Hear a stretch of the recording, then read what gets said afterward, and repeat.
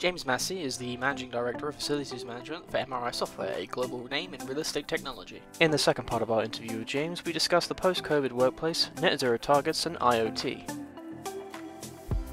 In a post COVID world, how could employers encourage staff to come back to the office and what is the role of an FM in this process? I think this world post COVID now is people expect more from the offices. They expect to have hotel style facilities. You know, the office that we're in now in, in London in King Street, you know, it's a nice building, it's got nice air conditioning, good lighting, a good coffee machine, good Wi Fi, etc. I think all these things now have almost become expectations of people to come back. I think the last thing you'd want to do is to come back to an office that that's either unventilated or has poor facilities in terms of coffee or drink making facilities and, and food preparation, etc.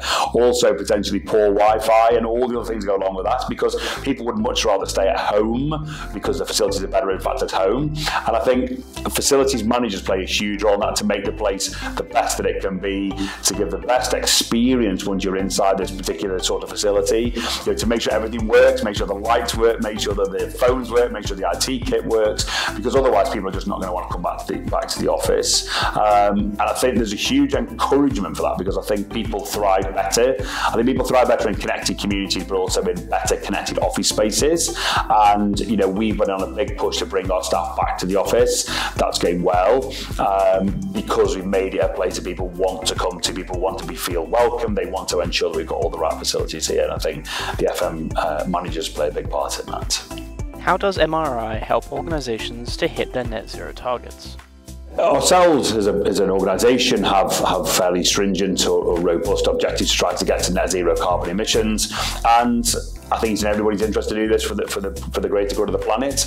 Where we are in terms of technology enablement is, as we've spoken about earlier on this in this interview, is around digitization of services. It's around bringing data sets together to minimize potential journeys. It's around migration to cloud compute to take those things from being on premise, etc., and saving energy costs. But it's also about through the use of our energy monitoring solutions. So in the building that we're in now, we've deployed our energy monitoring software.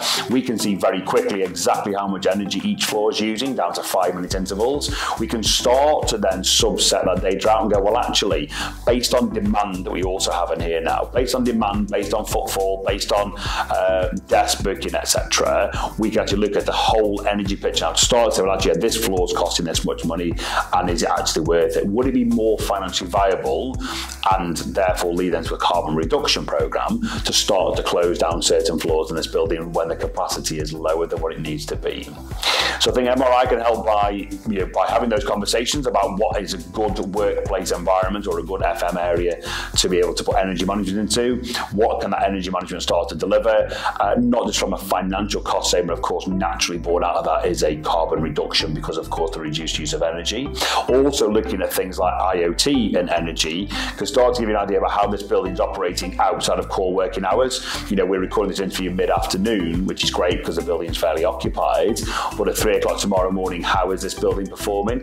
And our IoT sensors and our energy monitoring platform continually run 24 7, 365. So we can build a picture exactly how this asset is performing even when we're not here. So all those things linked tied together can all help organizations to reduce net zero carbon. How is IoT expected to change the landscape of maintenance? IoT is a great technology. I think it, it's so powerful and so flexible. It can it can drive behavioural change in terms of, as opposed to doing a maintenance cycle on just a standard repeat frequency, we can start do things based upon usage. For example, how many times is the door in this room that we've been in uh, been open and closed in a day? How many times has the toilet uh, up the corridor been flushed? How many hours has the LED bulb above our heads been switched on for? How long has the heating ventilation been running for? And IoT sensors can start to gather all those data things. I think transformationally, taking uh, PPM, so planned preventive maintenance cycles, from being based purely on a, a standard set of terms, so service this thing or clean the thing or whatever, every so many hours, days, weeks, months, etc. Let's do it based on usage. I think IoT has a huge potential to play there around that uh, around that scenario. I think what's very important is that IoT must integrate into the FM solutions some a journey we've been on in the last 12 months to two years. So, so an event or an alarm or something happening in the IoT ecosystem, make it report something back into the FM system. Because if those two things become disconnected data sets or individual data silos, that's where we get problems. It's very, very, very important that an IoT sensor can connect automatically through the hyper-connected ecosystem back into the FM system to make something happen. So if this room, for example, became too hot, make sure the FM system knows it's too hot, make sure the people in charge of facilities know that. The next dimension to that, though, then is going to be IoT, FM, and then building management system.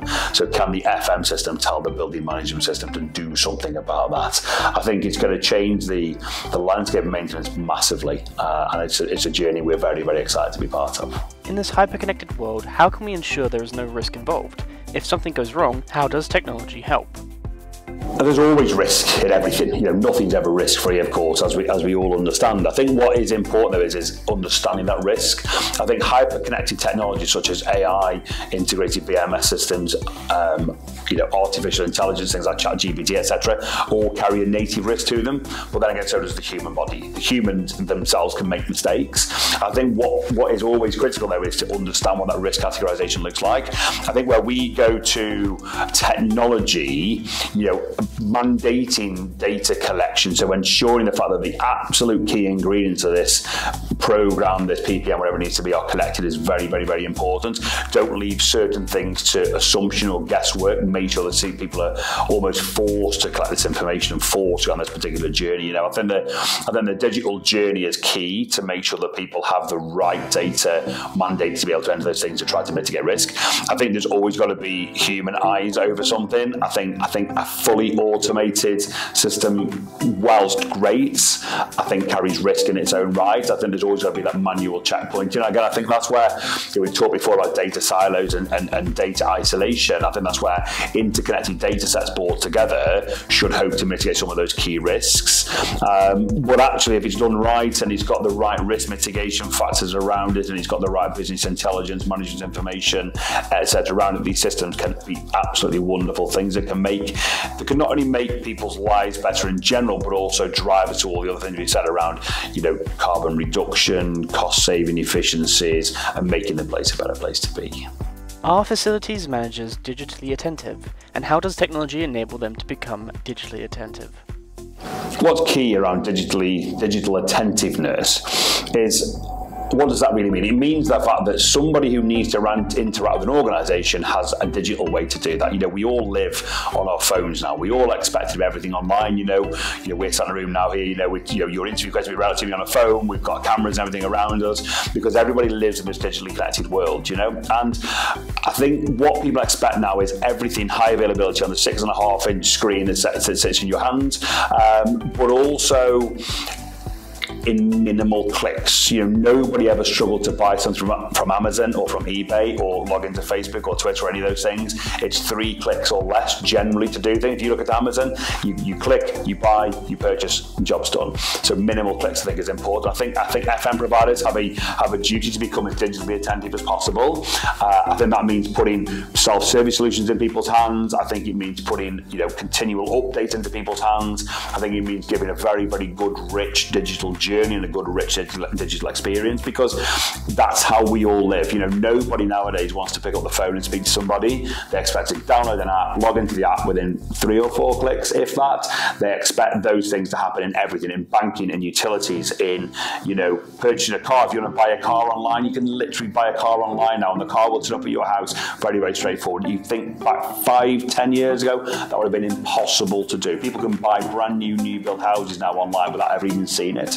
And I think where FM providers now and FM managers have a role now is to give people that digital experience.